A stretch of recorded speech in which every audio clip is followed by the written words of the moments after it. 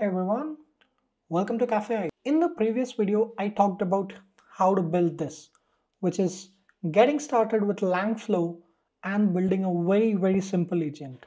Just introducing Langflow and the idea of building an agent. And then I concluded by saying I'm going to move forward to a little more complex scenarios. So here we go. This video is going to do more deeper dive into Langflow and talk about different components, services, and uh, you know elements. They essentially call it components that you have within Langflow. Like give a quick overview about it, and then also show a bit of more complex agent, which is like a sequential task agent. How do you get this? You can just go to new and you can probably select something like a sequential task agent should be right here yeah and then this tool has built in a lot of sample templates like you have SEO keyword generator. There's a research agent which generates focused plan, conducts web searches, and synthesizes finding into comprehensive scenarios. And I'm going to talk about more of this in upcoming videos. But right now I'm going to just double click and move from foundational to a little more beginner level. And then we'll go to intermediate and advanced use cases. So I've already pre-built it just to save time. And this workflow has a bunch of nodes. it talks about what a sequential agent really simply means as the word sequential says. You have an agent one two three and an output. So each agent receives an input from the previous agent. So this is kind of a chaining scenario happening. It's not you know coordinator or a planner agent and worker agent. It's more of a sequential flow and this is a great starting point for multi-agent scenarios because you are you can actually make sure that you validate each output towards the end. It has a lot of benefits like you know you can have specialization. For instance each agent focuses on a single task or a specific task could be single could be multiple but there has to be some sort of specificity. You can move or think about information flow as well like information is enhanced at each step you can obviously do a multi-paradigm, multi-agent like uh, non-sequential flows, but again, this is uh, a sequential flow.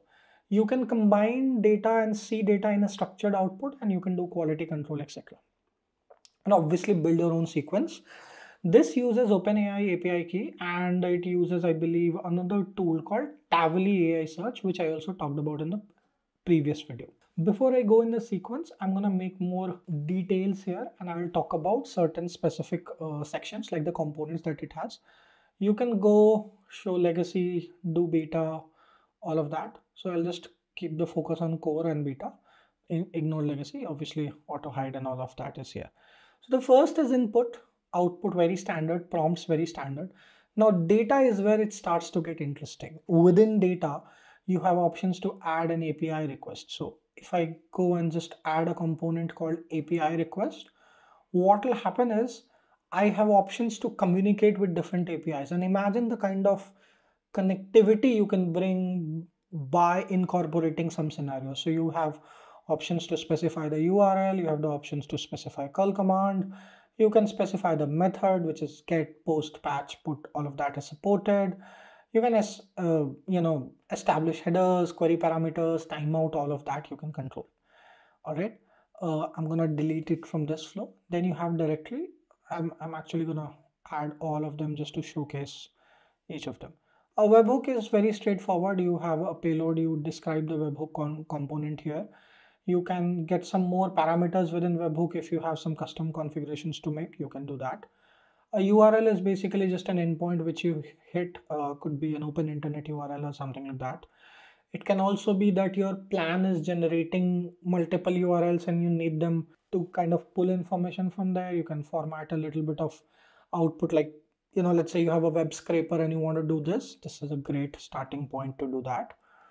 Sql query and file and directory directory is very straightforward like you know path to something you will probably need some sort of a communication or a variable to already do that and custom variables can be created. Like when you create a variable it'll ask for a variable name it'll ask for a type. For instance if you make it a credential then it'll apply to it various sort of fields and it can have a value. If you keep it generic then uh, you know it's basically just a standard set of uh, values that you can do. It, it completely depends on what the variable is. A variable is a variable. Uh, you can have certain types specified to the variable and you can probably you know do a little bit of nesting like depth of the variable all right file is very very straightforward file sql query you can literally hit against databases and make these calls so that your agent if required can communicate execute sql get the data and all of that why am i explaining this because this is me thinking the previous video was uh, more foundational where you got introduced to the idea and again, before that, I've done a lot of videos. This year, I'm trying to build more stuff. With that, a shameless plug, if you're new to the channel, please hit that subscribe button, like this. If you dislike, comment me bata do yaar kya nahi pasand aaya. If you need more content like this, uh, if you want to reach out, I'm very soon starting a community.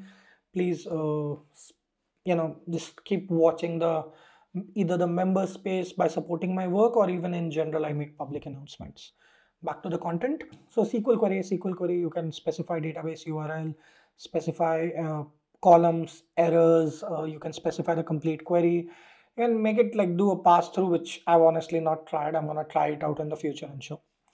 So data is very, very important, one of the most important components and the rest are very standard. Like, you know, processing would be you combine data, you filter values, you merge data, you parse some data, tons of different operations.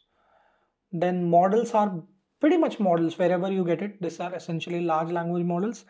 You can try and hack this to even give you traditional deep learning model like for instance you use hugging face and uh, you can use some sort of a model from hugging face which is which has a custom inference endpoint and all that so you can technically use any model. But by far and large this is aligned and more tuned to generative ai models. Obviously you can go more beyond that. It then supports vector stores, a bunch of them, AstraDB, of course, because it's the product from AstraDB, Cassandra, ClickHouse, Chroma, Elastic, FAISS, you name it, they have it. They have literally every Qdrant, Redis, Supabase, Substance, Weaviate, every uh, vector data database is available. You can configure them if need be. Again, the point of explaining all of this is the breadth of it, because so that you understand that all of these components are required in building agents and agents essentially are systems which are you know semi or fully autonomous automated learning system non-deterministic systems flows workflows so all of this can help there agent is an agent. Yeah i missed embedding. Embeddings again uh, supports multitude of embeddings. Memories there's a lot of good uh, memory implementations that they have put zepchat is great. You can use redis chat. You know all of that is super nice. Tools mostly you have search tools because there's different sort of search providers and then you have data like wikipedia yahoo finance youtube transcript. These are some generic tools. Logic uh, you have a component called flow as a tool which is kind of an advanced so probably fourth class and then just nested branching. There are some helper functions which can help you generate ids messages etc uh, data etc all right? So uh, with that outline let me go back. What this agent does is it gives me kind of an evaluation of should I invest in a stock or not. So I'll ask it a question like should I invest in HDFC bank? Give me a detailed analysis. Okay.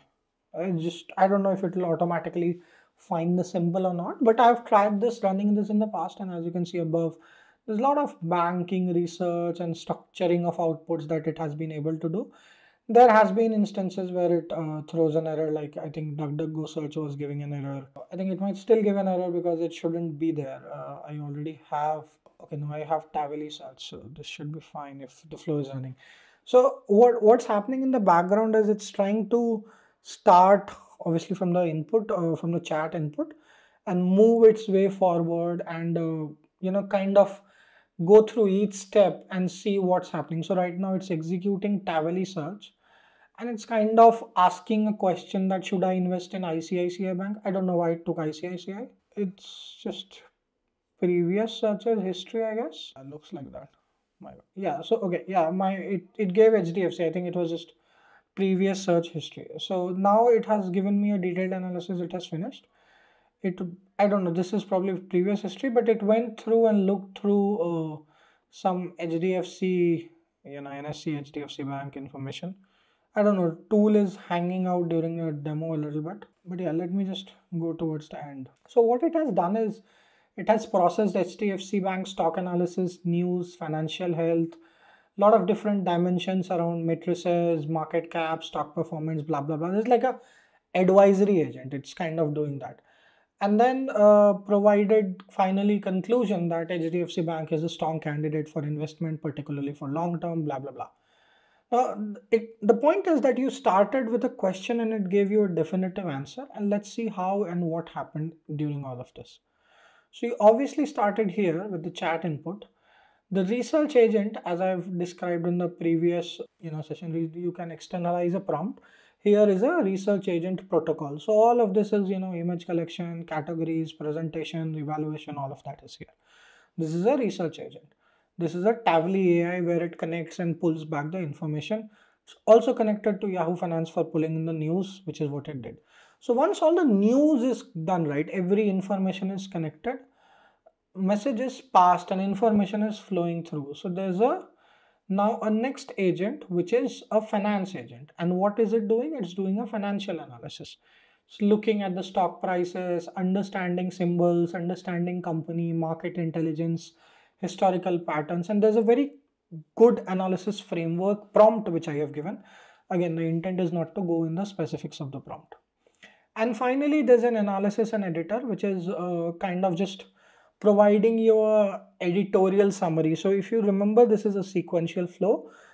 A, B, C is how I'm moving forward. And finally, towards the end, you get a chat output, which is, you know, uh, what you get at the end of the, uh, the flow. So all in all, in totality, you start with a question and all of these agents have, you know, finished a bunch of actions tasks for you and given you a good you know response around it. So this is a sequential agent. In the next video i'm going to try to go more detailed more exhaustive. Uh, if you are interested in content like this please hit the subscribe and drop a comment. Bye bye thank you for listening